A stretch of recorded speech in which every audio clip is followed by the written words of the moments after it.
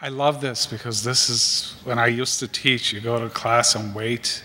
You don't have to say anything, and all of a sudden it's silent. That means everybody is ready. Uh, delighted to have you all here this evening at the University of Waterloo. I see that nobody really paid any attention to that little white stuff. I don't know what it is. I can't remember, but uh, uh, you're all here. Um, it's fantastic. Thank you so much for being with us this evening. Um, before we start uh, this evening, it's very important uh, to um, uh, acknowledge and pay respect to the elders, past and present, to the neutral Anishinaabe and Haudenosaunee peoples. As many of you will know, we are gathered to this evening on their traditional territory as the University of Waterloo sits on the Haldimand Tract, the land promised to the Six Nations people along the Grand River. Our institution is enriched by having open, free conversations, and this evening we are going to taste one of those. Um, it is very important for us to di diversify our, our learnings, our views on various topics. And I'm really, really delighted that um, this evening I was made possible by very, very generous and philanthropic investment by TD in the TD Walter Bean Visiting Professorship in the Faculty of Environment. It used to be a traveling visiting professorship, and uh, the Faculty of Environment said, no, we want to have the whole thing. And uh, since then, they have taken over that visiting uh, professorship. That's wonderful. Um, TD's investment at Waterloo continued to bring together cross-sectional partners and stakeholders from around the globe um, uh, towards dialogue, uh, dialogue, progress, and, uh, and making the world a better and more importantly, more inclusive place. It's also important for us all to remember that this is a very important year for our Faculty of Environment. In case you didn't know, it's celebrating its 50th anniversary. Great anniversary.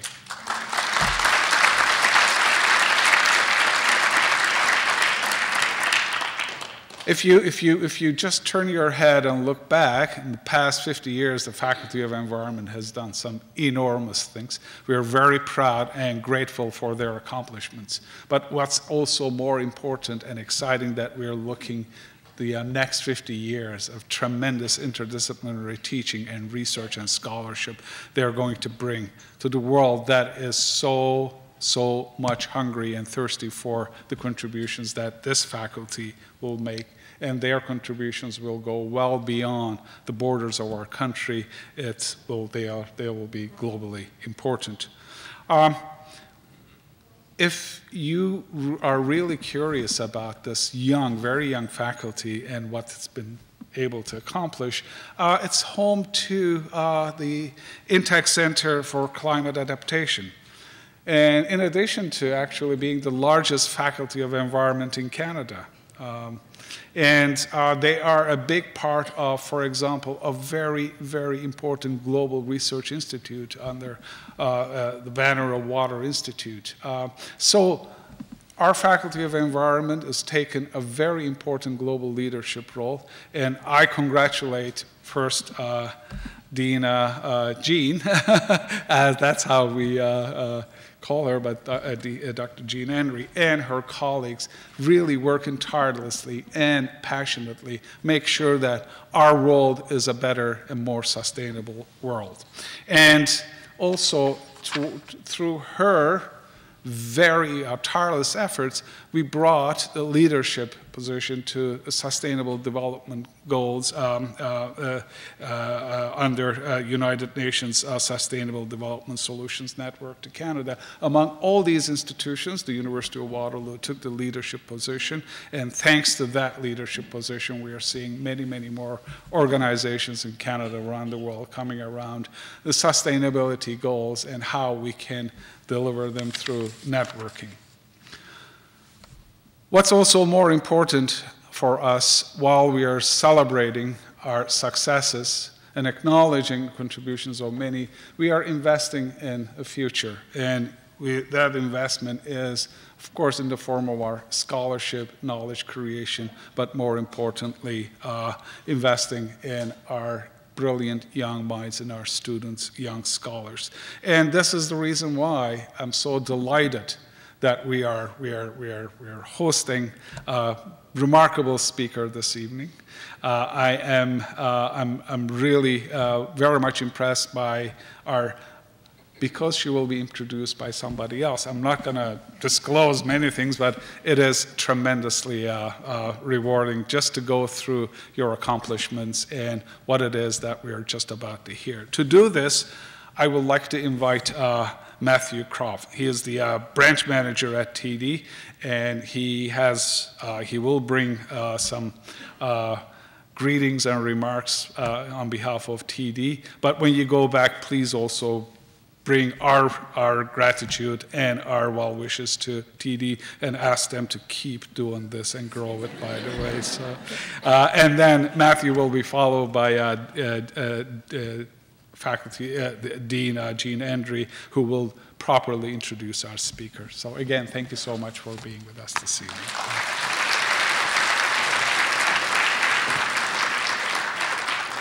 Okay, so good evening, everyone. On behalf of my colleagues at TD, I'm thrilled to be here today at the TD Walter Bean Professorship Public Lecture. TD recognizes the importance of education and the environment, and in 2003, TD established the Graduate Scholarships in the Environment with an endowment to the University of Waterloo as we were talking about. So, and in 2011, we created the TD Graduate Bursaries in the Environment. Needless to say, our interests reflect that of our community, and we are pleased to be here tonight. At TD, our purpose is to enrich the lives, lives of our customers, colleagues, and communities. And this is why we created the Ready Commitment, our new corporate citizenship platform aimed at opening doors to a more inclusive and sustainable tomorrow for everyone. And it's partnerships like this with the University of Waterloo that allow us to deliver on this commitment.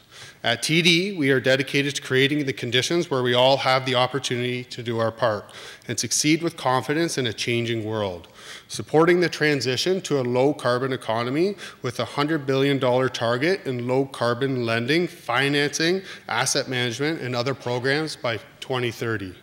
On behalf of my TD colleagues here tonight and more than 400 TD employees in Waterloo Region, we say thank you to the University of Waterloo for your continued environmental and educational leadership in the world. I hope everyone enjoys the lecture and thank you again.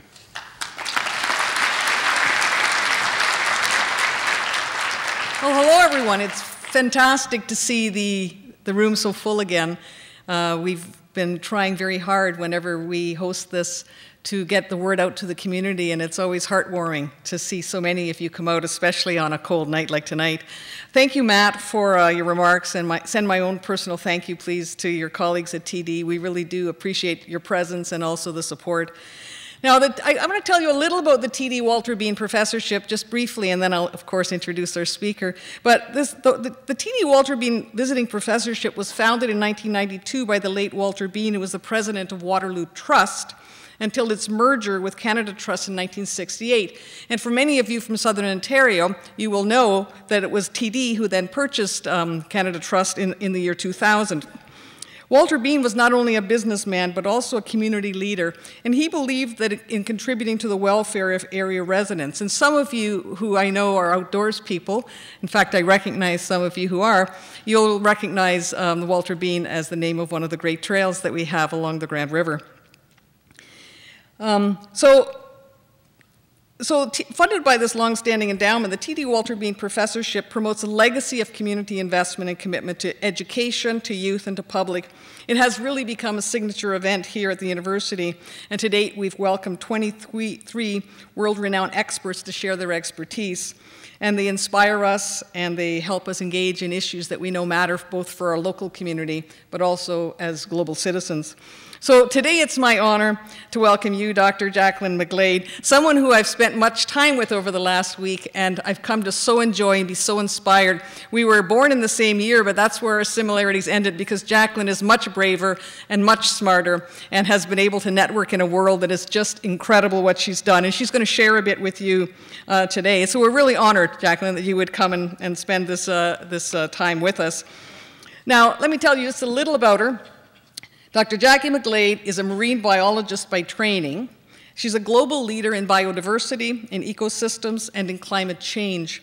She was the chief scientist and director of the Science Division of the United Nations Environment Program between 2014 and 2017, and she was the executive director of the European Environment Agency before that from 2003. She's currently juggling three different professional roles. She is the Frank Jackson Professor of the Environment at Gresham College in London. She is Professor of Public Policy and Governance at Strathmore University Business School in Nairobi, Kenya. And she is Professor of Sustainable Development and Resilience at the Institute for Global Prosperity at University College London. Tonight, Jackie will be talking about the topic Together Building Sustainable Communities. Please join me in welcoming her.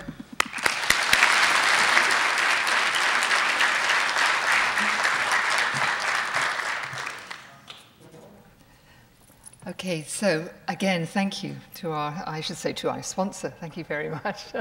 it's been an absolute pleasure to come back to Canada because for some of you who know me, um, I came to Canada when I was very young. I came to do my PhD, and after my PhD, not only did I have children, but I also joined the federal government, and I worked on the boundary dispute between Canada and the USA. And for the life of me, I became a, a, Canadian citizen, which was absolutely brilliant. So I spent many years here um, doing research out at sea and so on and so forth.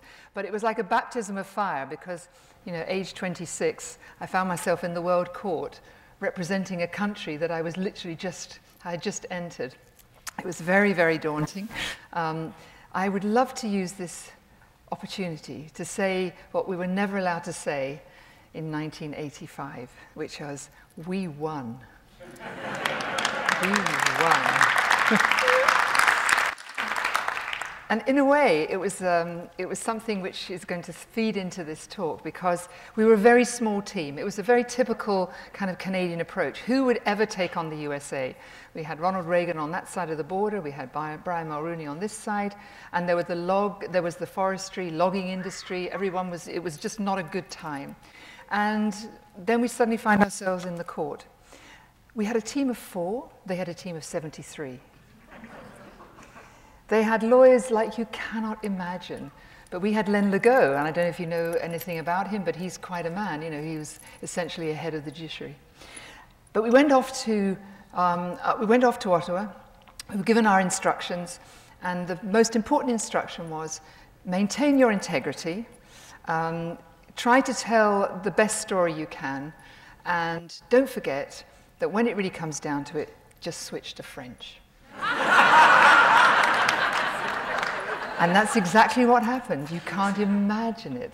So you're in the court, and the other side are grilling, and then um, you know they're trying to sort of undermine you, but it's not going very well. And then uh, Len Legault comes up onto the stand, and they have some of their best scientists from the USA on the stand. Um, and it's, it went sort of something like this. Well, Dr. XXX, I won't say who it was. You said in 1966 that there was only one ecosystem in the Gulf of Maine and in the Bay of Fundy. But then in 1972, you seem to say that there were three. Now, which one is it? Is it one or is it three? To which, of course, he says, But this is science. It's uncertain. We keep discovering new things. No, no, no, no, no, no. Are you certain or are you not certain? And then he switched into French. Perfect. At which point, at which point I think we won the course. But it just, it was just a, a wonderful example of what we were trying to do was put the story of communities, because in the end, that's what the judges really made their decision on. They came, they went out in a boat, they came through the Gulf, they went down through the Bay of Fundy. And what did the Americans show? They showed Cape Cod, very, very fancy houses, beautiful boats. And what we showed was Yarmouth. What we showed was the real communities who were completely dependent on this fishery for their survival. And that really made a difference. That was the point. That they saw communities that they felt really genuinely justified having resources to take care of and to take them into the future. Anyway, that's a long story, but it's really to say that the theme of my talk tonight is about building and sustaining communities. So, what is it about communities that sometimes seem to be at the very, very end of the line. You know, they're the last ones to receive federal support. They're the last ones to get the latest school. They're the last ones to get whatever it is. And yet somehow those are the communities that really can say in the long run that they have resilience and that they withstand all these kinds of changes. So I will quickly introduce myself in a slightly different form because I have all those things at the bottom. But the one in the middle is the one I'm going to talk about today, which is the Oangan village. Um, so you, some of you will have noticed that I wear these bands. These are my marriage bands because I'm actually married to uh, one of the Maasai chiefs. Uh, so I'm a full-on uh, member of the Maasai tribe. I might not look like it, but as far as they're concerned, I am. They're completely colorblind, so which is a wonderful thing. They really are.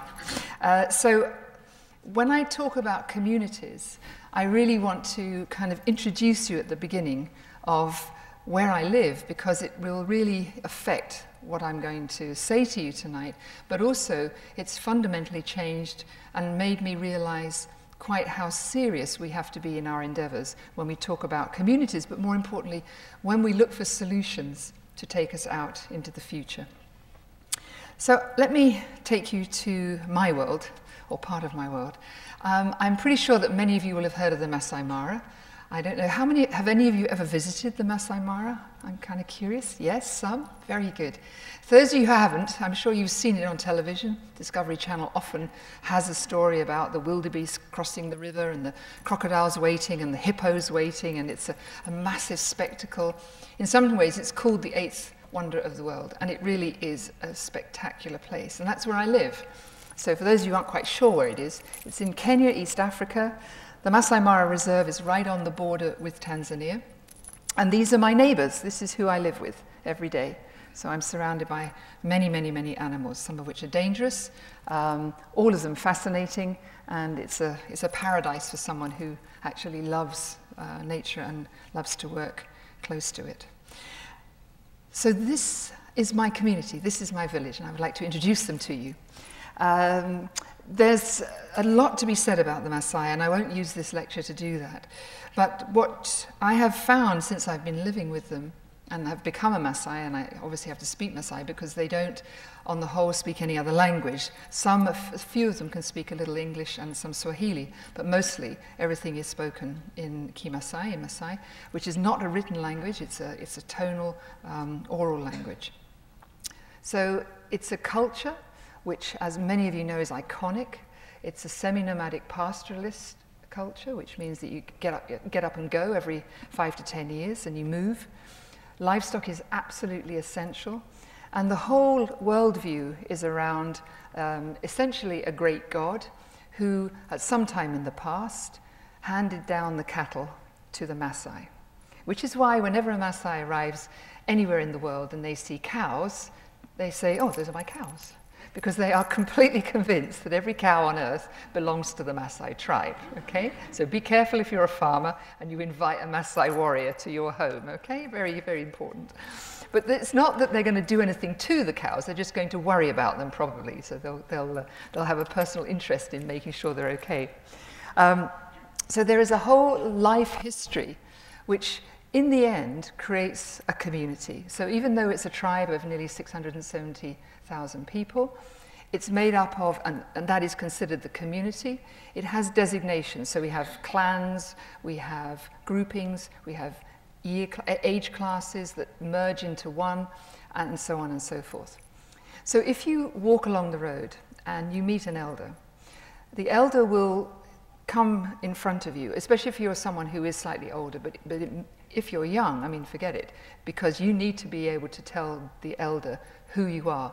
Not your name only, but who is your family, who are you related to, and where do you come from.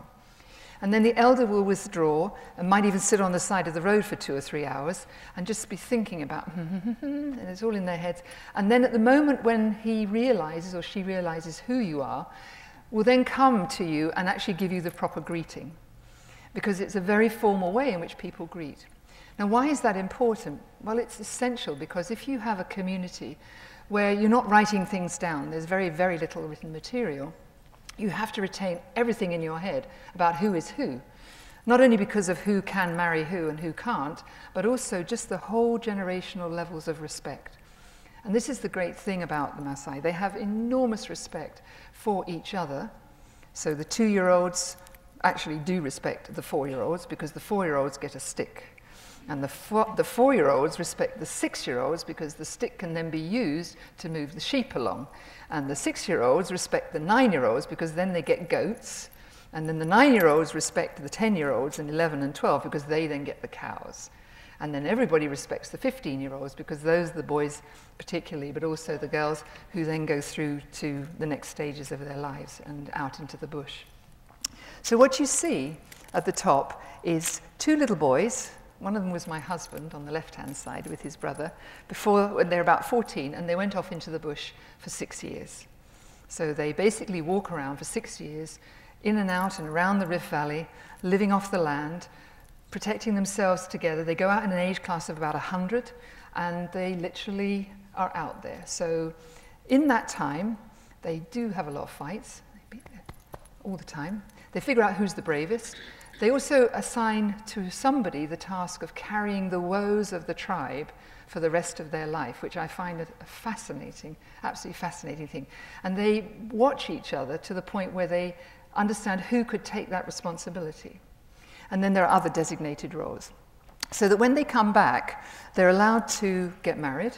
But before they actually do get married, they become part of what are called the junior elders. And those are the people who you see jumping so if you go online and you look on YouTube and you write uh, Maasai warrior dancing, you'll probably come to my village and you'll see the guys dancing. So what they do is they dance, and this is in preparation for attracting your wife. Um, when, when visitors come, they do it, but, but it, it's a deadly serious thing, and I notice the young ladies do look very carefully at these men jumping. Um, to the right-hand side are the elders, and the elders, when I arrived, were um, quite an extraordinary group of people. They're usually in their 90s and 100s. We, I'm pretty sure we've got two people who are at least 105, 106. Um, nobody wears glasses. I am the only person in the whole tribe that appears to wear glasses. So, you know, they have perfect eyesight. They can see a long way. Of course, they don't have to read, so that's one thing. But nevertheless, they're in pretty good health no diabetes, very little case, few cases of cancer, um, generally, you know, all up, fit and healthy. So quite amazing. Easily walk, you know, 50 kilometers in a day. So there, there are no slouches when it comes to this. We have cows, of course, and this is us when we got married. When I got married, we had to build a new village. So here we are building the village, carrying a new house, uh, carrying a new, carrying the old roof from the old village to the new house. Um, this is the grass that goes on the house, and so on. What I did, of course, was try to, you know, ameliorate some of the not such great things. So put in um, energy, so I put lights into every house. So these are all mud huts, but they have a house, they, they have lights, every room has a light, and I put water in. So I brought water from the mountains, um, and you know, essentially with toilets, water, and electricity, life is perfect. It's quite extraordinary. And we don't have fires in the house anymore. So we have little jikos, so there's no smoke, so essentially all of that has gone. So I can thoroughly recommend it to you. If you ever want to come and visit, please do. Um, but, the, but the wonderful thing about it is that having kind of figured out some of those problems, actually, uh, you have a population that is probably one of the healthiest populations that you can come across. What is the diet? The diet's very, very minimal. It's like a cup of milk made into tea in the morning, tea, nicely frothy, uh, and then a few herbs, and then get to the end of the day, another cup of milk, and then you go to bed. Okay, so it's not a lot of food, uh, with meat maybe twice a month. So it's, it's sparse rations, but in fact you don't really notice it. So you'll have a man who may be about two meters tall, and he'll only weigh about 46 kilos. But they are incredibly tough. So I'll just leave that with you. So now, what is, it, what is the hallmark of the community? What is the community? A community is made up of, as in many tribes, a sense of who does what. People have roles. Men and women have different roles. Men protect. Women do a lot of the kind of what looks like very heavy work, but essentially are building the community. Every child belongs to the community. I'm sure many of you have experienced that. So there are no such things as orphans. Um, so children can approach every adult and expect to be essentially welcomed. There's no, there's no sense in which you can't go into someone else's house. Um, my job is to make sure everyone's alive every morning. And what's fascinating is that when you wake in the morning, the first thing I do and have to greet everybody is say, make some greetings, Iragasupat, Kirasupapi, and then it's like, yes, I survived, nobody ate me, no hyenas got me, and I'm actually here today, and it's another day. Great, let's have a cup of tea.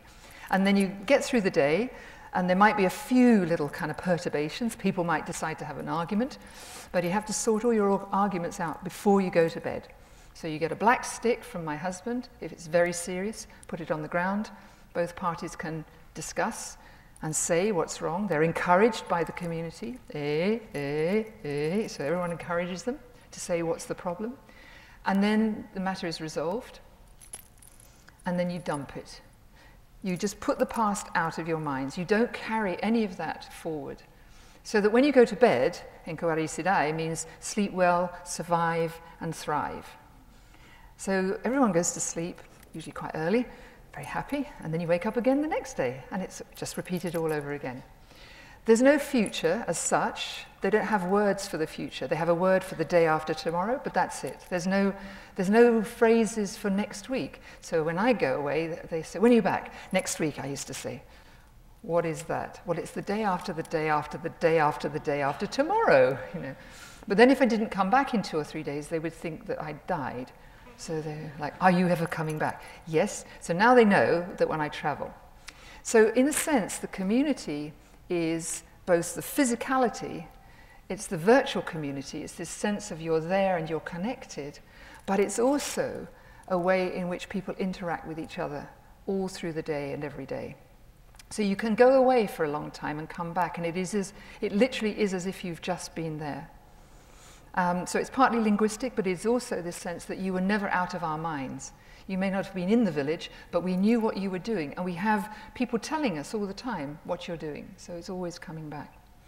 But they're tremendously forgiving. So if you do something really bad, you have to be, you know, you're asked, please forgive them, please forgive them. So people are forgiven all through their lives, even if they're slightly naughty. So, what's the kind of uh, life that we live in? Well, we're surrounded and live next to the most um, investment intensive and probably um, profitable industry in the, in, the, in the tourism business, which is the safari. Um, we have more than 260 lodges in the park, but none of that money comes into the community. And this is the really sad part about it. So the people where I live have no money, I mean literally no money. And over the over the fence are some of the richest people in the world who fly in and come for visits and so on. So this has set me thinking, what is it that enables an industry that sells itself on we support the community when the reality is absolutely not that? Where essentially all of those monies are not coming there, but they're either given into the national and then they're supposed to trickle down, or they're actually just offshored into another country altogether. It depends where the company comes from. So there are very, very few lodges where they hire local people and where the funds actually go directly to the, to the, to the um, community itself. And so I'm very challenging. I actually ask a lot of them, well, you know, so what are you, what are you selling here? You know, you're selling a luxury hotel next to all these beautiful animals, but who do you think kept all these animals alive? It's the community. And these animals belong to the community, and you're on community land. This is why I love the fact that when you start here, you, you, you actually give thanks to the elders for being on land that belongs to the community. So we haven't quite got to that level of sophistication, but I'm thinking about this now, that when we start our meetings, I think we should actually adopt a very similar thing because people are unaware that most of Africa still belongs to communities. They just haven't claimed it. You know, we're, we're in the sort of capitalist, the capitalist regime. They also bring a lot of trouble because lodges are profligate in the sense of waste and environmental damage and so on. So I ended up having to build an incinerator and a waste management system. It's ridiculous. But I did it because the day that I arrived was in the midst of a dreadful drought. And the picture on the top is literally where I live. 4,000 cattle were dying over, say, three or four weeks. But when we opened up the cows, we discovered that inside there were plastic bags. They literally were dying because of eating plastic. I mean, the drought was very bad, but if it hadn't been for the plastic, many of those cattle would have survived. Where does it come from? Well, it sort of blows down the Rift Valley and so on. Now, this was before the plastics ban, but essentially, um, and, and we see a huge difference because of that. But it's amazing how people who go away on ecotourism and so on, they love the idea that they're coming to see communities and tribes and so on, but they somehow forget that we totally depend on the natural world for survival. And it's really like someone coming onto your front lawn and just, just dumping their trash on your front lawn. But because it doesn't seem to own, it's not owned by anybody, it seems perfectly okay, you know, to chuck your plastic bottle out of the window and so on and so forth. The thing about living where I live now is that you're really on the edge. And, and so more and more, when people are working in international development, and they come with technology fixes and they come with this and that, what's not clear to many is that the daily grind of survival is only possible because of the community. You cannot survive in this environment on your own. And in fact, it's the worst thing that can happen to you that if you do cross the line too many times, um, you can be asked to leave the village. And you are essentially expelled at night, and your chances of survival on your own are pretty, pretty slim. So they knowingly will do that if someone actually goes far too far. So it's a really dangerous place, to be quite honest. And so what keeps everybody alive and surviving and thriving is the fact that at any time you can reach out and there is an entire community there for you. So it's a reciprocity arrangement. You, you're expected to participate and to give when you have on the basis that when you need people, they'll be there for you. But we don't have, in a way, any insurance. So for example, here on the bottom you see some maize. And because of climate change, so we have droughts, absolutely, but we also have intensive rains and floods. And we have no facilities to support and hold um, the produce once it's been harvested. And what we have now is.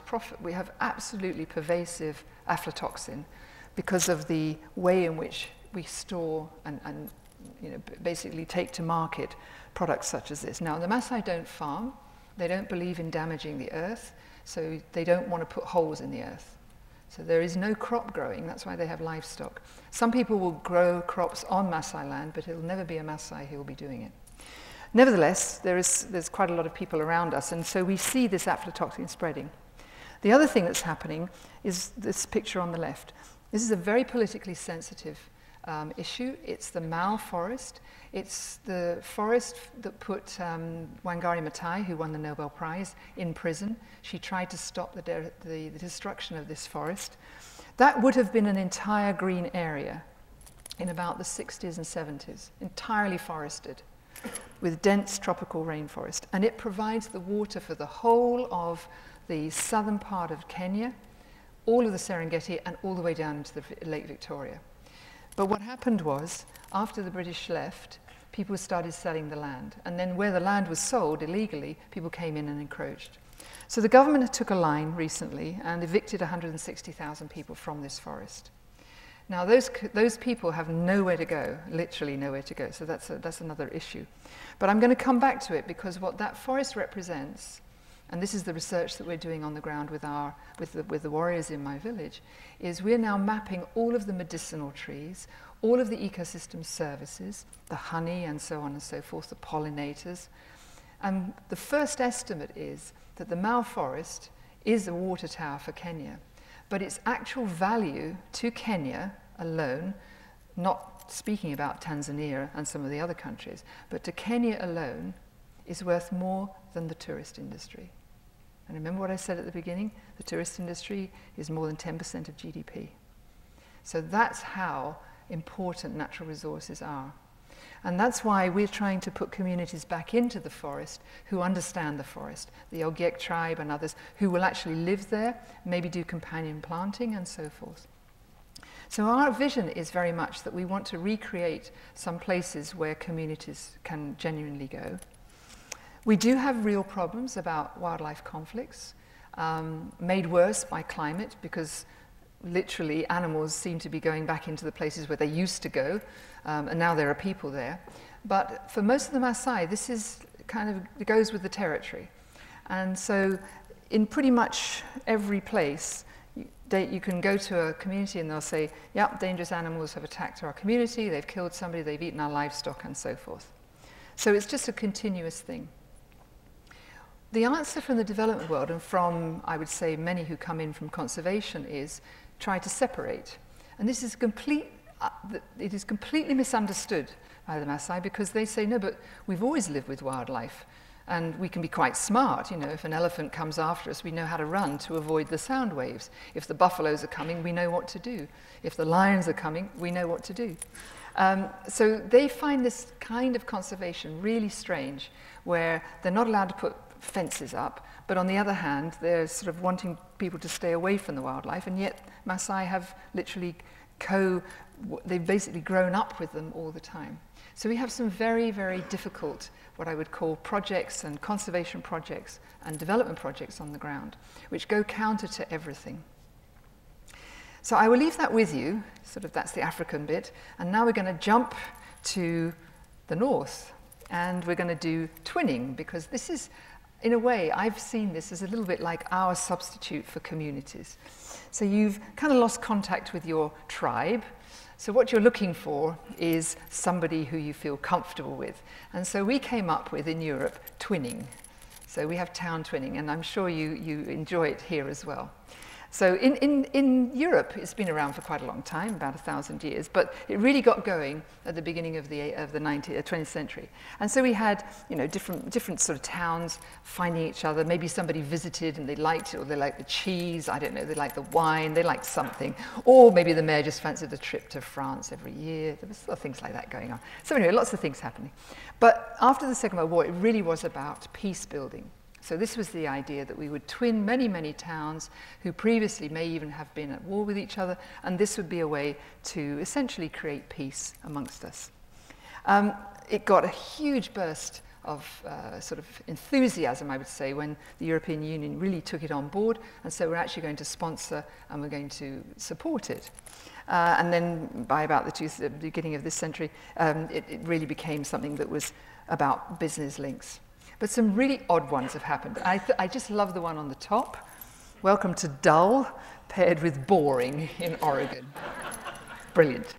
Um, much more sinister, I have to say, is the one below, which is a town where these are the twins from the twins that were the experiments during the war. It's very, it's, it's slightly weird. But anyway, that's, that's, that's a, so there's all kinds of reasons why twinning happened. Um, and so I started to look at what, what brings communities together? Because in my case, in the Maasai, it's very obvious. You're an extended community, so it's not really twinning. It's about making sure that that community is sort of talking to each other, and there'll be villages here and villages there. But essentially, you're all kind of from the same, from the same piece, even if you're in Tanzania or Samburu or wherever. But in Europe and in other parts of the world, there is a genuine feeling that you want to be you want to be interacting with a community that's like yours. And so you can see that there's all these sorts of vernacular words that are used, sister cities, partner towns, fraternization, friend cities, and so forth.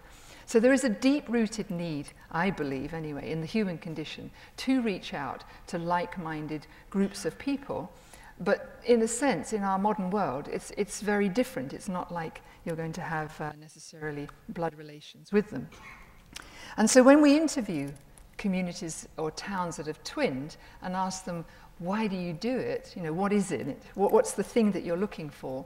It's quite, in, it's quite interesting. So in, in Africa, you see that here you've got sort of things that have to do with um, seasons and climate. And it, it's kind of they're, they're communities that are suffering in a way from many, many similarities. Here in America, this is the wordle from a lot of towns that are twinned in America. Very strong language. Um, hate, school, I mean, just, just a whole different way of doing it. In the UK, there's a new, a new movement to sort of twin towns, which have to do with um, prosperity. So there's, there's a kind of drive now to analyze, well, why do, why do communities get together? Why do, twins, why do towns twin and so forth? So I asked the question, is this a mechanism? Is this something that the world needs to do? Is it just something that's superfluous? Or is it really a kind of measure of some deep, deep-rooted requirement um, amongst groups of people to, to reach out?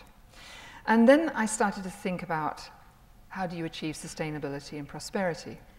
And the very first thing you learn is that sustainability is not just about your little self, it's about your connection into the whole. So then that by, by default things makes you think that you're going to be connecting to others. Now there's been a lot of thought on this. Many people, many famous writers have written, in fact, about this. This need to connect, this need to create communities of like-minded people. Um, and it has to do with health and economics, um, the spirit level, a very, very good book around why um, inequality is so uh, pernicious and why it drives communities apart. So there's an enormous literature about this. So we, we and, and a whole group of us started to think about, well, what makes sustainability and why is it different from well-being and prosperity? Because in fact, it turns out that it is very different. So I started to sort of deconstruct what, what is it that makes prosperity? So you can often hear people talking about nature as part of prosperity. And what do we mean by that? Well, we, we genuinely mean that to do well, to prosper, to have a good sense of life, you need to have good functioning, well-functioning ecosystems, clean water, clean air, and so forth. Not feeling that you're going to be living in a polluted world. Then there's a whole discussion around this intensity of connectedness. So I made it very clear, you know, in a tribe like this, it's very clear. Everyone's kind of on the same page. They understand who everybody is. There's a deep and long, long history of that connection. But in the modern world, we are creating other kinds of connections. Some might be ephemeral. They may actually come and go. They may be through social media. But even in social media, you have these rooms which essentially echo chambers where people are talking to themselves about the same thing. And so the question is, is that a real community? Does that represent a community? And so the question you would ask is, well, to what degree is, that a is it a connected group of people, other than just you know, electrons connecting them? And what's the intensity of this, this connectedness? And we can study that. The next thing that you can look at is also the dependency.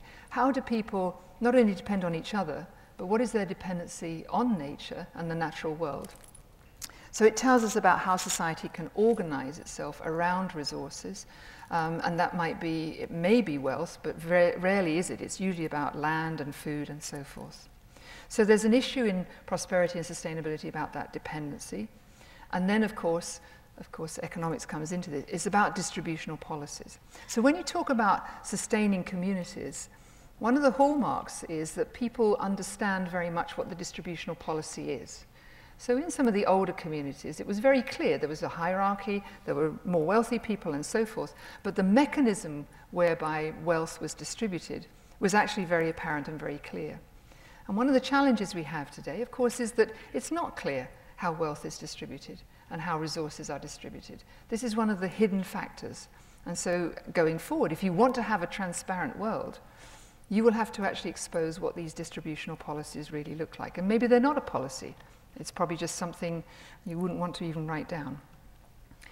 And then finally, um, the more you look into what makes communities tick, you find that some communities particularly have really brought out this idea of a kind of naturalist intelligence. In other words, truly understanding amongst the different kinds of intelligences that Howard Gardner spoke about, that there is really a deep-rooted form of multiple intelligences. And some of the communities that are beginning to link into each other are those that have multiple roots of intelligence in common. They think about things in the same way, even though they may come from very different cultures. So this is really the point. You can have communities that are drawn from different cultures. Because there's something else about being a community when you think of the intelligence systems, when you think about the dependencies, and when you think about what drives communities forward. So if we think about sustainable development, the first thing you realize is you can't do it alone. You have to do it in groups of people. You have to do it, in a sense, as communities and societies. So this nice shiny thing that we talk about and we work towards and we measure and we, we have targets and we have progress towards it and countries go to the UN and they report on their latest progress, even though it's all voluntary. Um, they all want to do well. It, it's, in a way, it's partly a miasma because when I say to, I mean, I used to meet a lot of ministers and people like that, I used to say, okay, so why are we doing this? You know, what's it all about? 17 goals. Um, what happens if you achieve three of them? What happens about all the other ones, you see? And so it's very easy to get sucked into, I'm going to really focus on, let's say, zero hunger. I'm going to put all our efforts into that. I mean, Kenya has a, the big four agenda. It's food, health, housing, manufacturing. There's a whole bunch of other things you have to do to be able to deliver that. So the sustainable goals need, in a way, a raison d'etre. It's not enough to say sustainable development. Well, what is the answer? I'll just give you an answer. It's certainly sitting there at the back end in number 17, um, which is going beyond GDP. And I'm, I'm, sure many of you have read books and magazine articles and something about going beyond GDP, because GDP is not a good measure of the good life. It is not a good measure of sustainability and prosperity. Um, uh, many people have said that. So then the challenge comes, and this is what member states struggled over and never came to an answer. Well, what other measures exist? So there's inclusive wealth, there's a social progress one, the one I've put up here, and so forth. But none of them really were able to create this holistic picture of what it takes to really, in a sense, deliver prosperity, which is the outcome of achieving, in a sense, all those different goals within sustainable development. So the calculus of prosperity is quite a tricky thing to do because it's not like putting together the GDP numeraire. That's a bunch of accounts, it's an input-output set of tables, you're almost entirely talking with one currency, but actually what we're talking about is a whole bunch of things that are all going to be measured in different ways. They're not all going to be measured by one simple metric. So you might have, for example, a whole calculus around how the planet is operating. Um, you know, are we near to thresholds? Are we, are we getting perilously close to change? You might have to have a whole conversation about consumption and production. And you certainly will need to have a conversation about distributional fairness and equity. So all of these are kind of measured in different ways. So I, together with colleagues around the world, have started to roll out something called ProCol, Prosperity Co-Laboratories, because we realize that you cannot do any of this work from an academic perspective. You have to work with people, with communities, and you have to co-produce that knowledge to find out essentially what's going to make people tick, what's going to make people change behaviors, because we're going to ask people potentially in the future to do a lot of things that they're not doing today or to stop doing some things they're doing today. So we're working in uh, places like Elgeyo Marakwet, a very, very rural agricultural uh, part of the world, a lot of sustainable cities, um, London, East London, Beirut, you name it. So many, many places all over the world. And what we do is we bring together communities over successive weekends and successive days, and we ask them, what is the good life? What, what do you understand to be the good life? So if I was to just pick out somebody from the audience, like the president,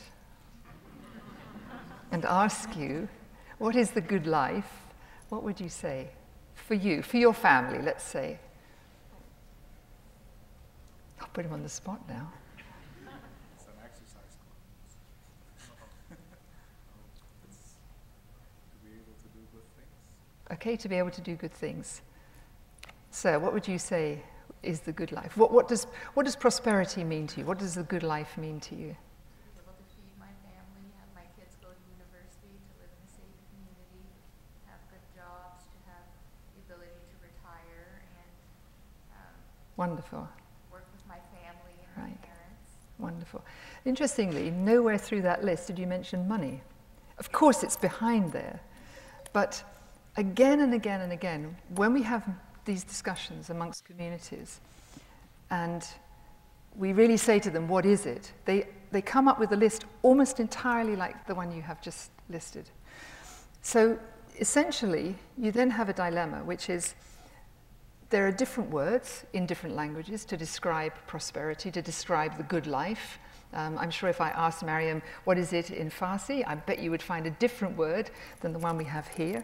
So in a sense, every language has encapsulated what it is. In Danish, it's hygge, Um, there, there's all different words. And what it means is tangibly something a little different. So if I describe what it means to be a community that has prosperity in Danish, Hygge is this sense of I come home from work in the middle of the winter, there are candles in the house, it feels cozy, and my family is there, and I probably have a meal with them. And, but at the same time, I know that in the summer, there'll be long days of sunshine, and I'll be on the beach, and I'll be riding my bicycle, and that. And it's that all encompassing picture. That's what it actually is. So I suspect that each one of you has, a, has something in your mind about what prosperity and what the good life is all about. So we do a lot of this uh, kind of co-production of knowledge to find out in more precise terms, not just sort of vague terms, what really does constitute that. So it's not really to fill the world with more indicators, but it's really to get to that seductive sort of sweet spot where you're realizing that this is the nub of what will make this community actually tick. And this is the bit you need to protect, and this is the bit that's going to connect that community to another part of the world, if need be. So this is the one, for example, that came out of Maisha Bora when we were talking to teams and groups and communities in Tanzania and in Dar es Salaam. Um, so these, these are kind of some of the key words. When I did it in Nairobi, I had a huge, huge, big word in the middle, which was the power of voice, wanting to be heard, wanting, needing a space to be heard. So even when people have been exposed to severe conditions, adversity, it is those features that keep hope alive. If you ever go to a refugee camp, and God forbid you would have to spend any time in one, um, hope is what keep many, many communities alive and going. And again, when you interview people in refugee camps, they have a sense of what prosperity is, of what the good life is. And again, Few of them ever talk about money. They talk about safety, they talk about enough food to feed their families and schools and so on. So I want uh, publicly to say that it does not make any sense to have a conversation about a dollar a day being the threshold above which you're not poor. It's a complete nonsense. What it really is, is the people who've lost hope are the poorest. The people who might have no money could actually, as in my case, be in, in the Maasai, be very happy. They don't consider themselves to be poor. In fact, they consider themselves to be very rich because of the world in which they live. So we've developed a prosperity, let's call it a flower, a series of petals, um, where we systematically work through these different areas. Culture and community, the natural prosperity, of course, the foundations, you know, a, a decent job, access to transport and housing, um, healthy people, healthy planet. That means you get access to healthcare in affordable ways. Interestingly, what's missing from the SDGs, no one ever talks about opportunities and aspirations. People have that, but it's not captured in the SDGs. No, it's not in there. There's nowhere that says, we will meet your aspirations or we understand that we need to give you opportunities to have dreams and visions of what you want to do. And that's what a lot of people want. So in the dry language of the SDGs, access to water doesn't cut it. You know, it just doesn't. So we can elaborate what that might look like, but it doesn't really create the setting where people want to come together and just dream together and create things together. So this is a continuous thing, particularly amongst young people. And then, of course, the power of voice and influence.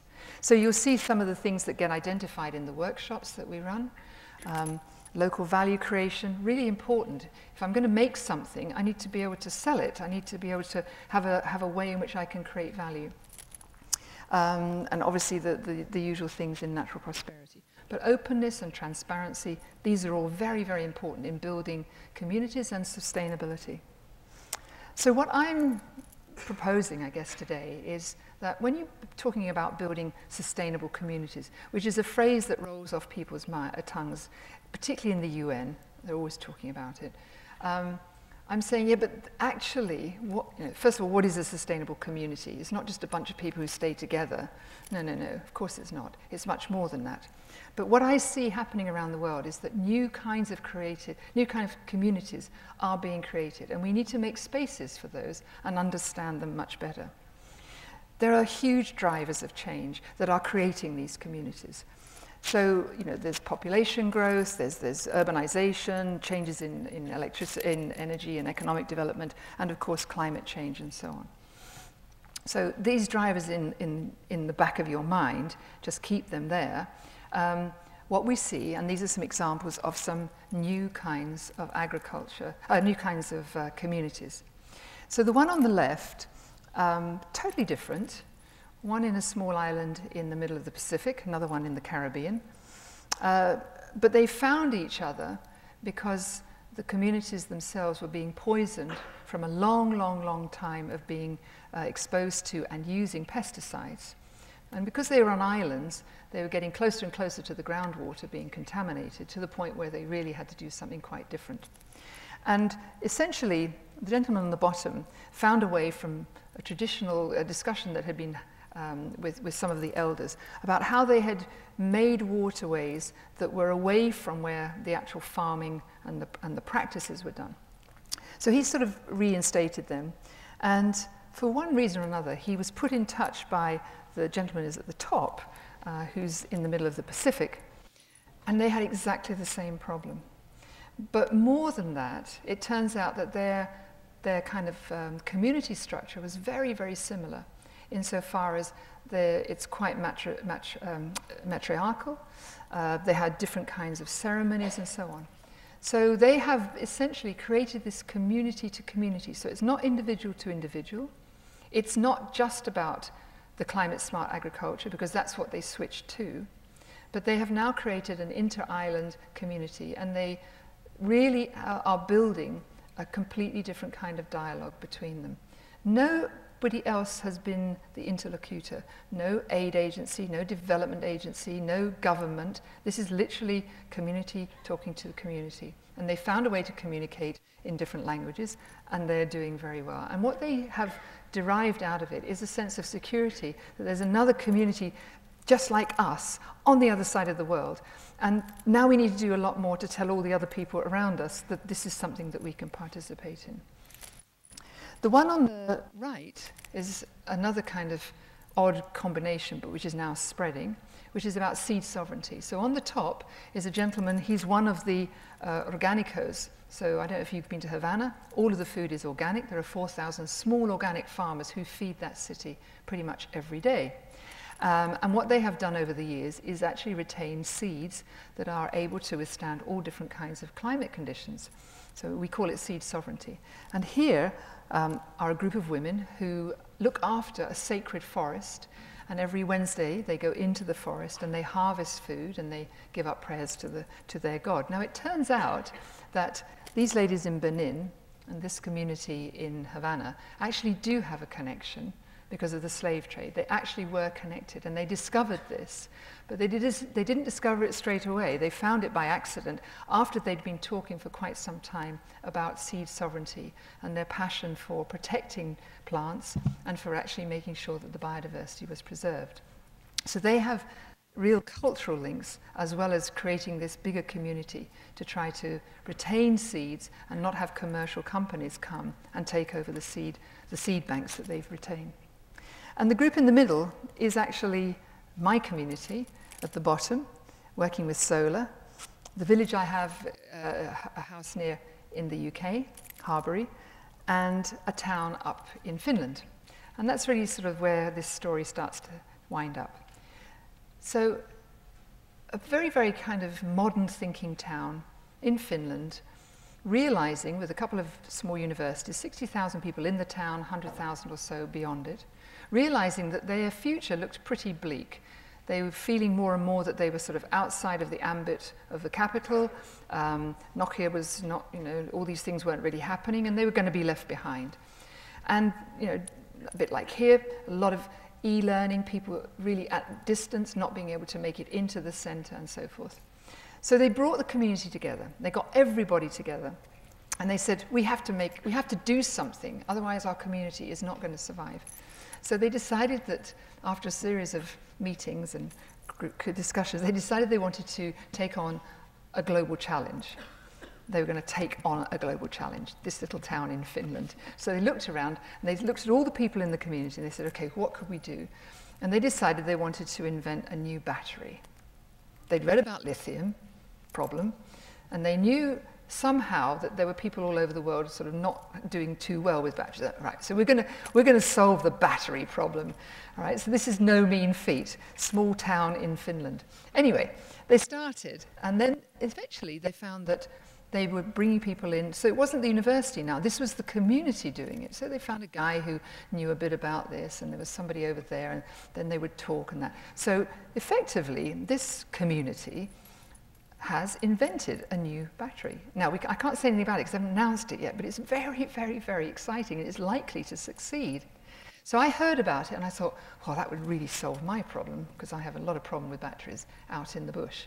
So I called them up and I said, could I be one of your pilot sites? Because I've now got a whole tribe of people who know all about batteries. They don't know much about other kinds of technologies, but they know all about batteries. And we really, really need to solve this. And they said, well, this would be really great because this is a hot place and we're not a very hot place, we're a very cold place. So we'll do that. And then my little village in, in the UK, Harbury, is a village that very bravely decided to go off grid you know, they'd had it with the government, fed up with all of that. Right, we're going off grid. So we went off grid. And we have a lovely, you know, community hall and everything else. So this is a, so we have three communities. And what we're talking about is that sense of independence. So that's actually what has driven us together. The batteries are a mechanism, but it's the sense of independence that the community itself is going to start to really function as a cohesive whole of all age groups working together towards some kind of common issue and common problem. The net result is that we're building that community hall in my village, so it's kind of slightly weird, but anyway, that's, that's what it's. So there's been all kinds of wonderful discussions, and what we have found is that in communities, knowledge is not in short supply, genuinely, but it's hidden in different ways. And so what we're describing quite often when we have workshops and we're talking about building sustainable communities is that we give people permission to do and be different kinds of people. So, for example, you can be an expert. Great, fantastic. But you can't be an expert in everything. So maybe you might want to be the knowledge exchange person, i.e., you call the meeting and you have the tea people and the coffee and everything else, and you host the meeting and you broker the exchange of knowledge. But you might also want to be the exemplification site or, or, a reporter, someone who goes and finds out and brings back to the community exactly what is known. So this all makes perfect sense, but it is very liberating because when you're trying to create uh, a sense of what the community is about, people don't always want to be put in the box that they've been labeled for the last, you know, 10, 20, 30 years. But they have skills and they do lifelong learning and they want to change. So what you do is you offer people this ability to evolve and to take others with them. And it's extremely important in the co-production of knowledge that all of those voices get to be heard. And so I go back to the way that language is done and conversations are held in the Maasai, which is that people do not interrupt each other, which is a habit that we have in the West. We jump in and we interrupt and we do all of that. And we see that as encouraging and thinking it's a positive thing because you're trying to help the conversation. There, you sit back and you just simply say, eh, eh, and you allow people to speak and then you come back. So, yeah, conversations are going to be quite long, but anyway. Uh, but it's a, it's a completely different way in which knowledge is shared and knowledge is given. And that's what makes strong, sustainable communities, is the knowledge that you can bring an idea, you can bring knowledge together and create something really quite spectacular. So we have lots and lots and lots of great ideas in the environment field that will be necessary in the future. I often you know, put some of them out when I'm having community meetings. You know, have you heard about this? Do you know about that?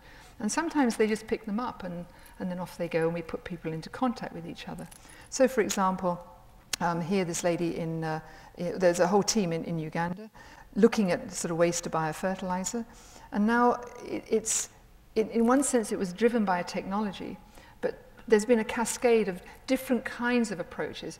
And what it's done is it has totally changed the way in which waste is now dealt with in a whole round of communities in this particular area.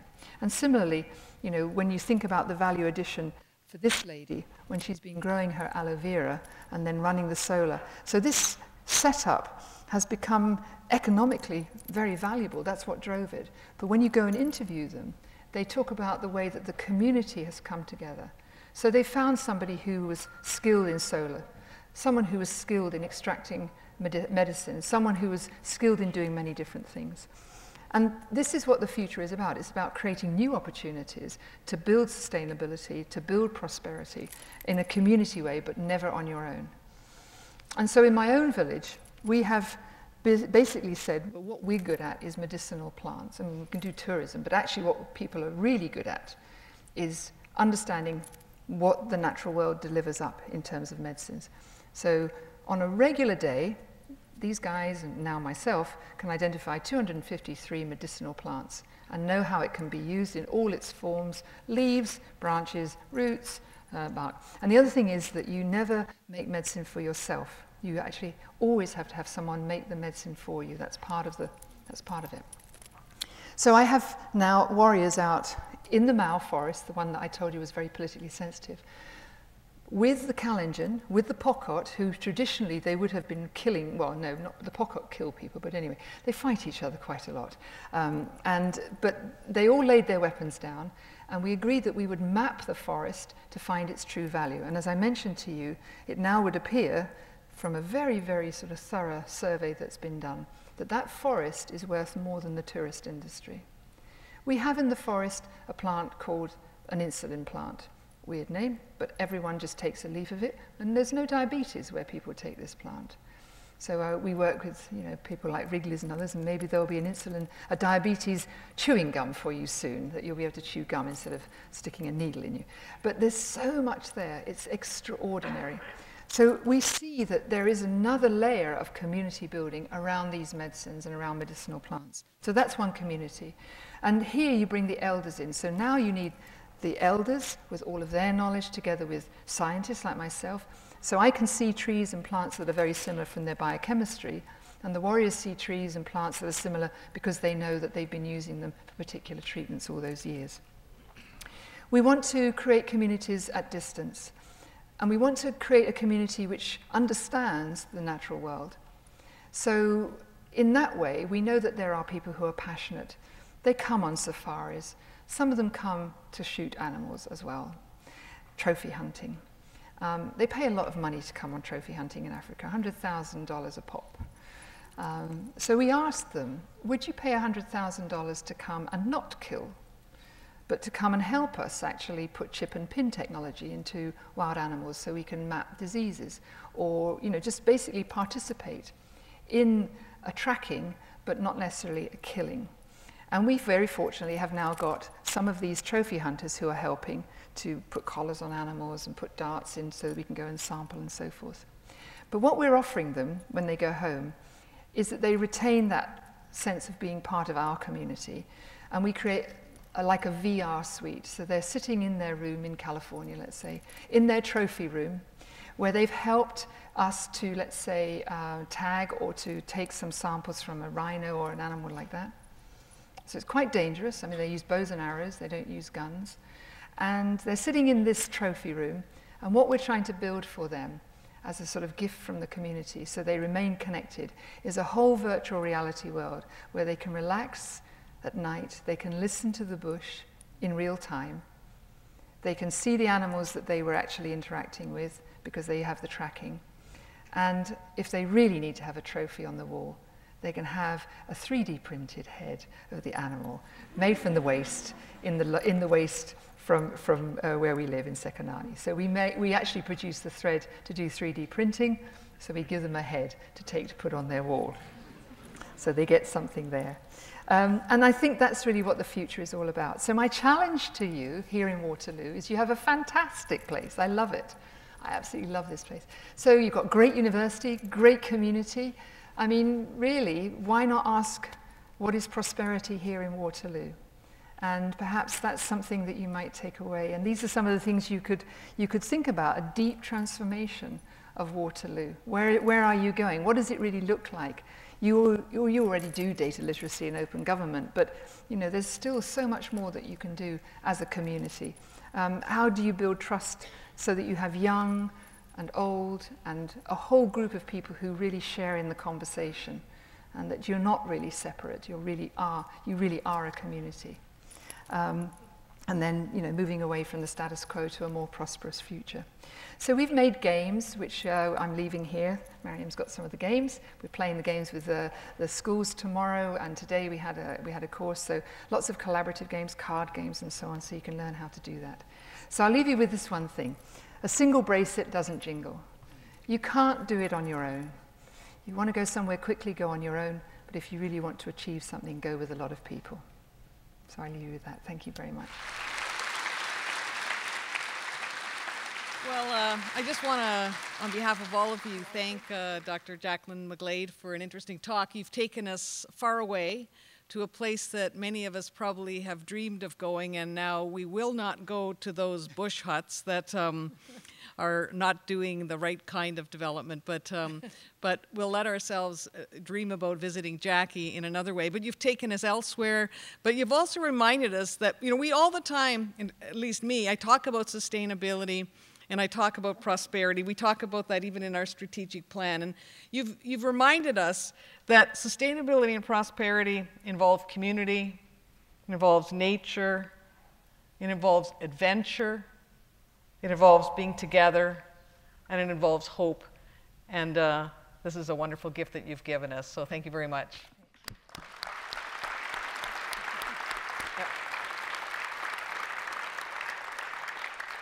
We're going to go sit down and uh, we're going to take a few questions from the audience. And, uh, and I, I, I, think, do you want to take two or three at a time so that you can bundle yes. them? Yeah, okay, so that's what we'll do. We'll go sit down and then I'll, I'll point to two or three people. We'll assemble the questions and then Jackie will uh, try to, to frame answers that, that address the set. Okay, okay. great. Want some water? Yes, please,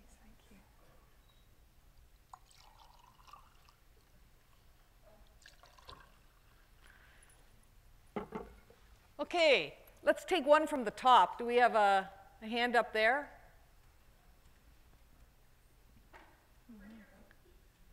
Okay, we'll take one down here then, back. Um, do we have something at the front too? Because we want two or three questions. We've got a person here.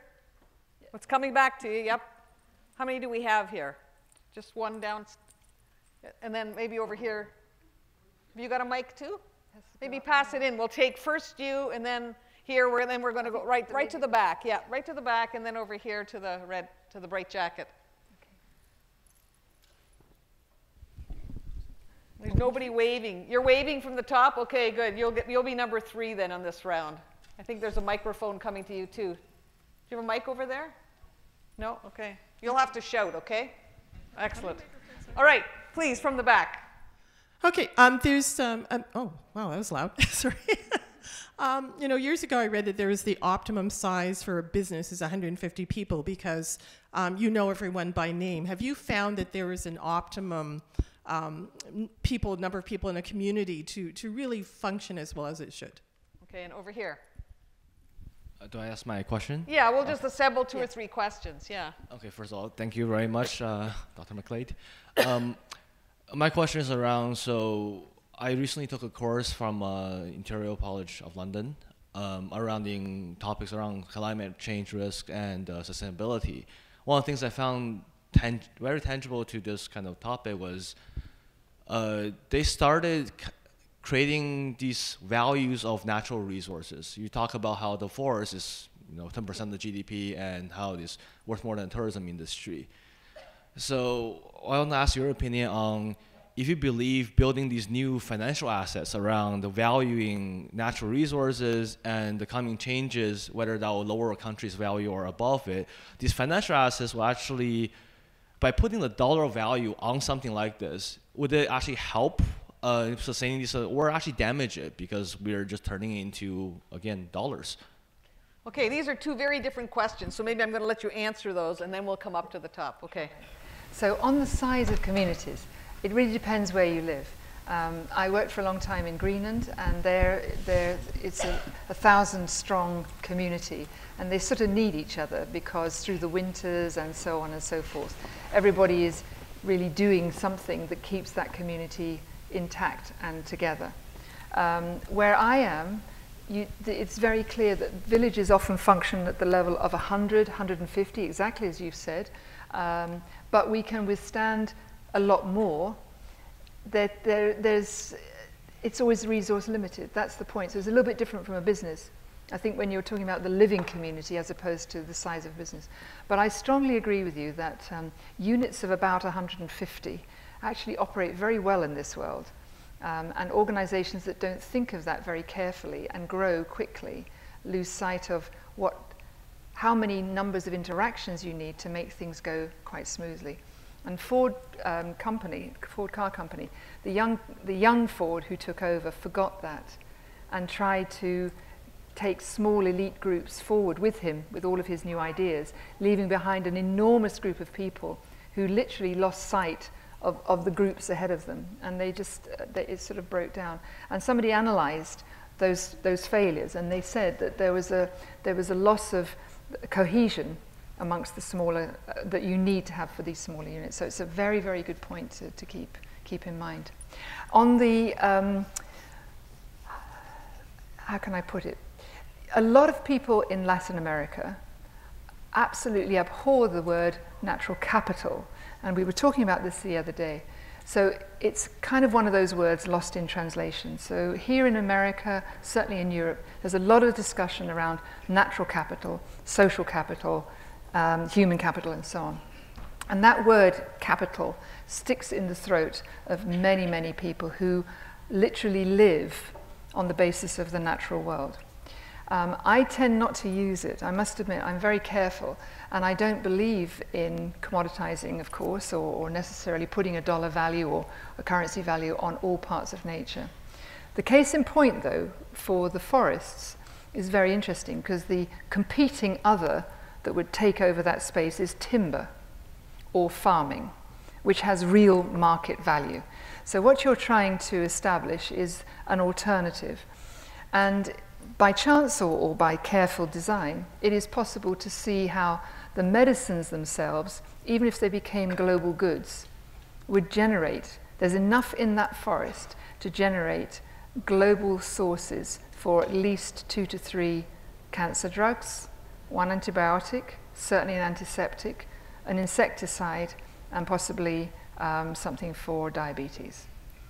So you're talking about a resource that you definitely could put a dollar value on, and you might want to because you might want to protect it. So I think it really depends. But I try not to put that commodification at the front of why you want to value um, ecosystems and natural world. Okay, now I'm going up, and I think you, you said you'll shout for us, right? I'm fascinated that you married a Maasai chief, and I'd just like to know that story. Oh. oh later. I, oh no, okay. Uh, you know, you, you needed to be around this weekend. We uh, we invited Jackie over to my home, and we were making Christmas cake all day, and so we heard the story. But uh, actually, it's partly it is partly available because I did um, a A life Scientific for the BBC on the radio, Radio Four. And I don't know how he managed, but Jim Al-Khalili, who's a wonderful interviewer, managed to get it out of me. So um, it was a story of by mistake, but anyway, or by accident. It was an accidental marriage. So, uh, but it's wonderful. I'm, I'm, totally in love with my husband. Don't, don't, don't, don't, uh, don't doubt that at all. all right, a few more questions here. We've got one here, and then we'll take one on the other side if there is one right here, if, if uh, we have a second microphone. Okay, please. Thank you for this talk and the inspiration. Do you find that best gets in the way of better? Yes, absolutely. And when you live in a mud hut, there is no best. There's always bits falling off it. Um, and it's all about mud management, and the cows just don't produce enough cow dung when there's a drought. So it's all about compromise. I realize that with my house, so that, you know, you c- I, I completely agree. I mean, I'm using that as a sort of silly example, but yes, yes. And I've always, in my own life, I've always said, try for the best, but if you get 80%, brilliant, because it's 80% better than it would have been if you hadn't started. So yes, it's my, it's my mantra, my motto, but yeah. Okay, good. We have a microphone here. Hi, um, I'm an environmental student, and um, I find that a lot of environmental students um, struggle with like despair or um, like burnout about like dealing with environmental issues. And I was wondering, because you have such a like breadth of environmental um, The experience. War, the war wounds are all here, by the way, you know, the bruises and everything. So I was just wondering how you deal with burnout or if you've ever experienced that. Yeah, I mean, okay, so this is, a, this is kind of like a life story, but it is very important because a lot of young people, and, and actually little, little ones, sit in meetings or, or presentations, and I was in a big science festival recently, and there was an audience entirely of kids of about 6 to, 6 to 11. And they were asking desperately sad questions like, you know, we understand that biodiversity means that, you know, all these animals are going to die. Is it true? Um, are we going to be able to live on the planet in 100 years? You know, it was, I was almost in tears listening to all these questions. What I said to them was, um, it's probably not as bad as you're thinking, but more importantly, you can do something about it.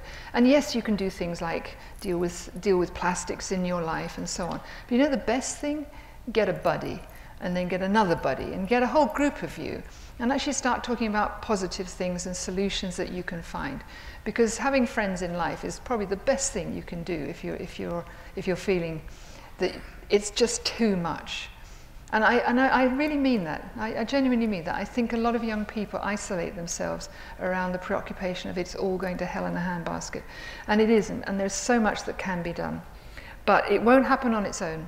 So you need guys to help you. You need friends to help you. And as I said, there's, there's no sense in doing things on your own. So find, find a group of people and do it together. Make it fun and make it last. I wonder if I could ask a question. I wonder if you, you could share maybe one of the more interesting challenges you had while you were working for the United Nations Environment Program. I know you had exposure to so many issues and you were sort of at the epicenter and all kinds of things. I wonder just for the group whether there's any, any particular event or issue or, or mm-hmm. story that, that, that you, you'd like to share. I mean, there are many kind of skirmishes, but I, I would say probably one of the, one of the interesting situations, um, if you're a senior person in the UN, you're careful that you don't try to take over negotiations. But there come moments when the member states are utterly unable to negotiate, where they literally are too far apart and they can barely come into the room.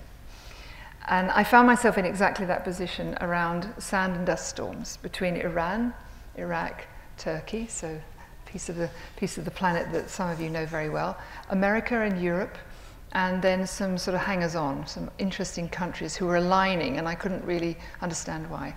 So it was, it was quite an extraordinary experience because the science is really difficult. Sand and dust storms, I mean, they arise primarily from the Sahara Desert, and it's nobody's fault that we have the Sahara Desert. It's kind of just there, and it's like a big basin waiting to go up in the air and move. But each party was convinced that the other side were, was creating sand and dust storms. really, seriously. So I'm afraid the people on this side were accusing the people on this side of pulling up all the trees.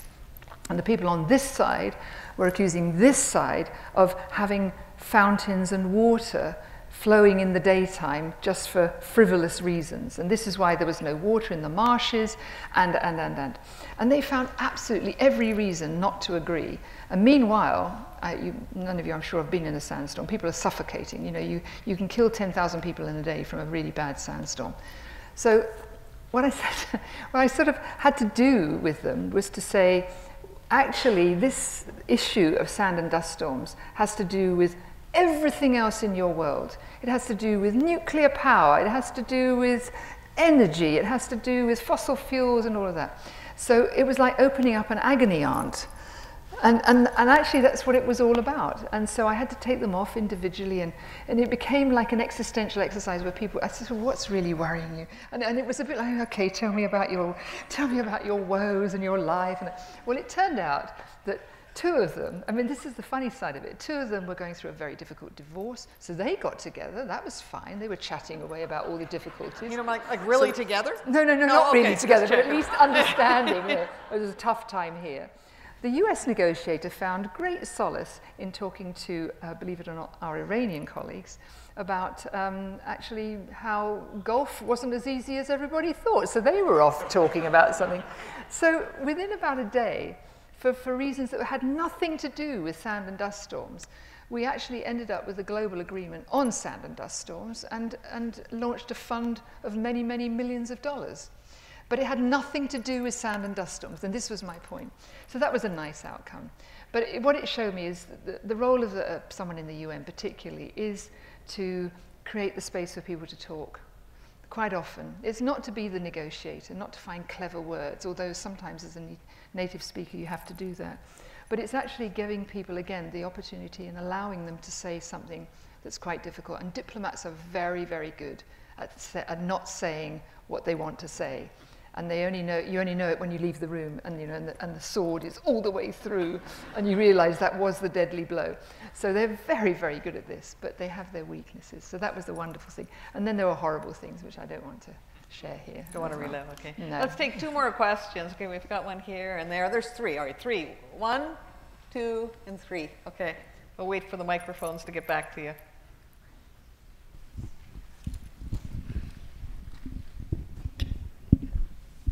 We need a catch box to throw across the room.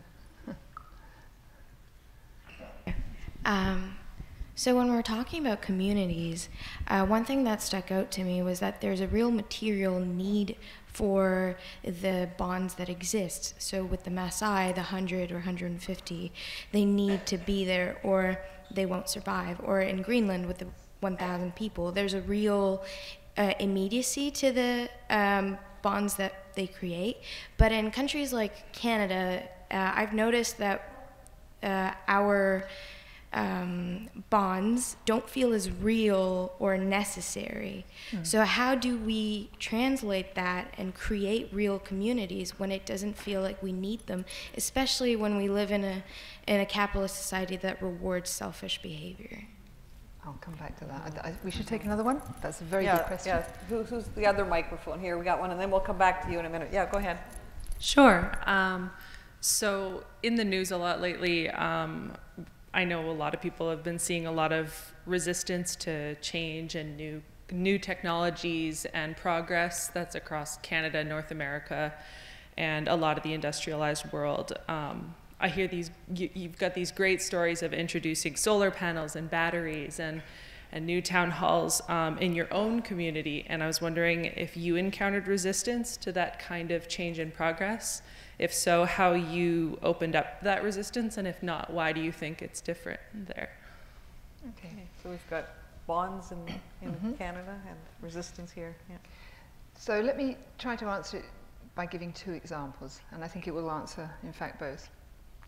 So um, imagine, okay, so there are some technologies that are a bit iffy and out on the edge, right? We're not too sure about them, particularly in the climate change area, but there are other things around. So I would like to kind of draw your attention to Denmark. And, and this came up today in another conversation. So the way that the Danes deal with ethical issues, particularly around technologies, is completely different from many other countries, and it's the extreme case in much of uh, compared to even Scandinavia. So I worked there for 10 years, so I, I could see this discussion happening again and again.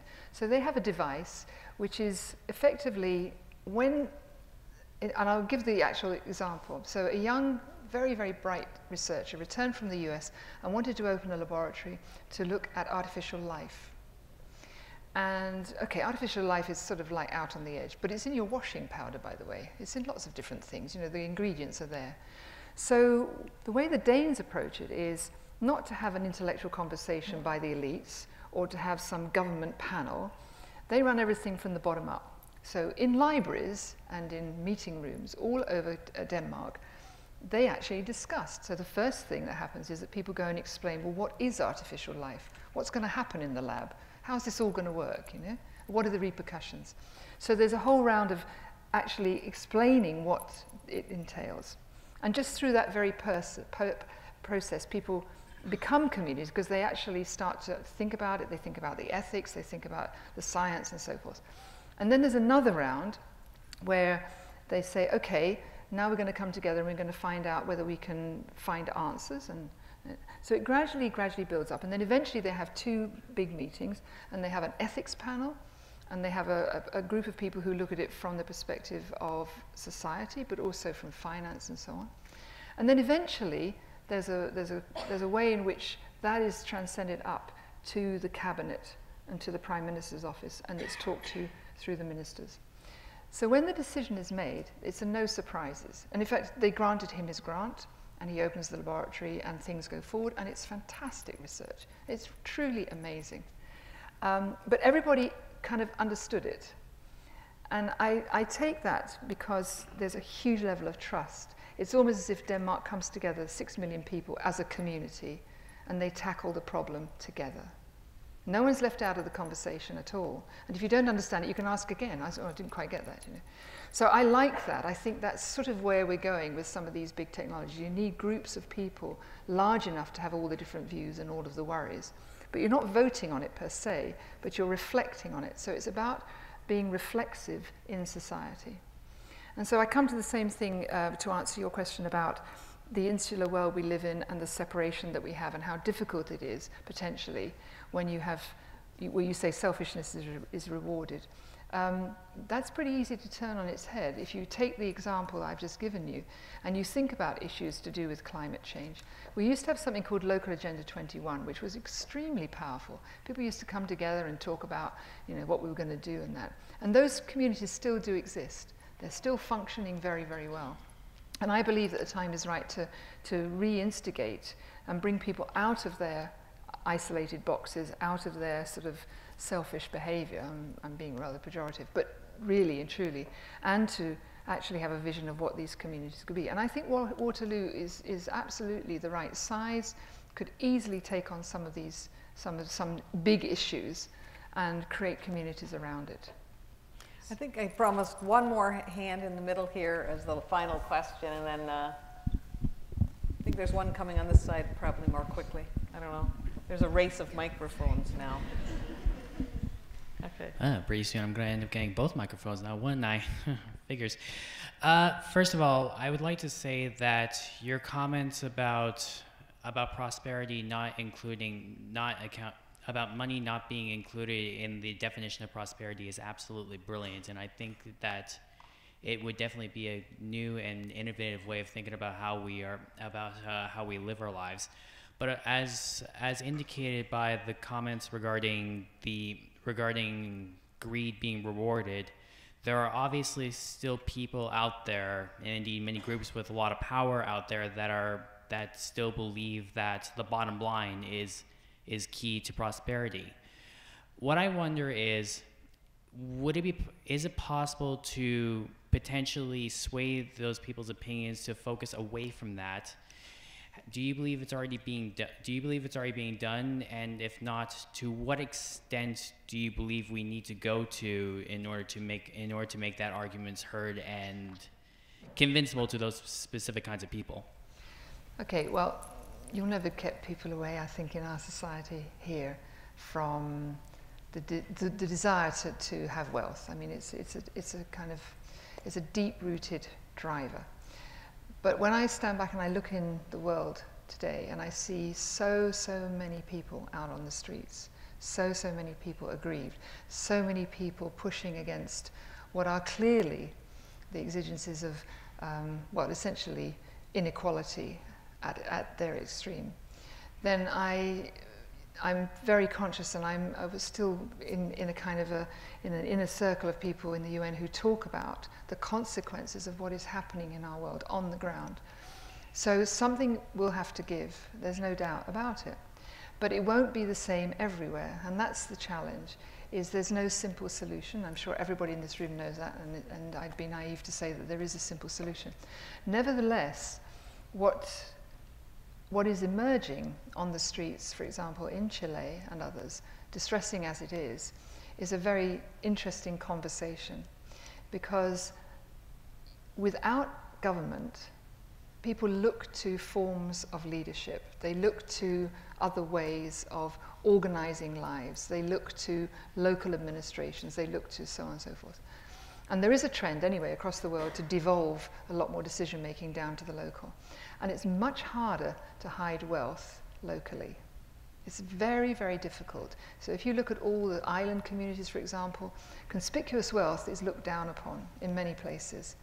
because who knows what might happen next month and then you know you have to sell the car that nice car that you just bought last month you know so if you don't want to look like an idiot there, there tends to be a bit of moderation on that and i think it comes back to the very first question about the sizes of communities that function well and it's the sense that you can keep check on people and that's why in the world today the open government partnership openness and transparency is the most powerful thing that we have going on because when you talk to people on the streets, and I was, I, I got caught up in, in some, I got caught up in a few riots in my lifetime, but recently I got caught up in a few.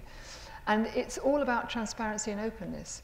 When you say we're going to have mandatory company beneficiary lists, which go down to the, the 1%, so that everybody who's going to benefit from a company is now in a public register, Actually, it's very transformative because you see where the wealth is accumulating. And if you look and see the 70 countries that are part of the Open Government Partnership, which was set up to fight corruption, it's an anti corruption program. It has all of these additional benefits, the sort of roll on and the roll out. So, whilst I don't think people will ever want to give up money or some form of exchange of currency, um, and reciprocity has, in a sense, the same dynamics. I think openness is what will be the transforming feature. I'm convinced of it. Okay, well, on that very hopeful note, and being reminded that our guest has also given us a challenge, um, let's, um, let's think about how we'll rise to the challenge and thank our speaker one more time. Thank you.